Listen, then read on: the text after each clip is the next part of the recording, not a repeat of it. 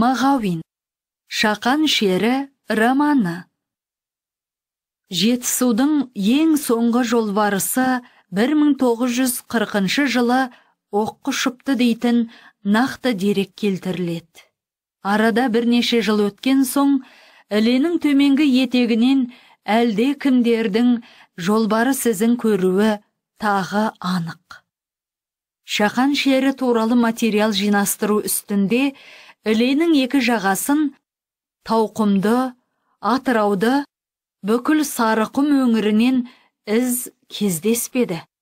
Түлкі ізі қоян ізі қосаяқ саршұнақ ізі тарғыл шеріден қалған белгі жоқ. Бар жұқана қазақстанның орталық музейінде ғана сақталыпты. Аумағы арба дөңгелегіндей жолбарыс қақпаны. Тот басқан қарсып қатып қалған. Темірде тозады екен. Ал адам адам өмірі жалғаса бермек. Туған топырағына терең тамыр тартқан халық жаңғырады жаңарады бірақ жоғалмайды. Өйткені ол ол төрт аяқтылар қауымы емес. Өзі де ізі де сақталуға тиіс. Тасқа қашалған мың жарым жылдық көне ескерткіште айтылғандай анамыз қара жер атамыз көк аспан кісі оғлы.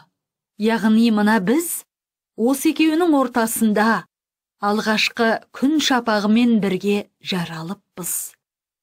Бұл мәңгіден келеміз мәңгі жасаймыз деген сөз. Осыған сенейік тек сура соққан меңіреу құм қылтанақсыз тақыр тамшы сусыз шөл адам баласы аласталған өлі аймақтардың барлығы да бір заманда нулы. Дулы жасыл жазира болыпты деседі. Осыны ұмытпайық.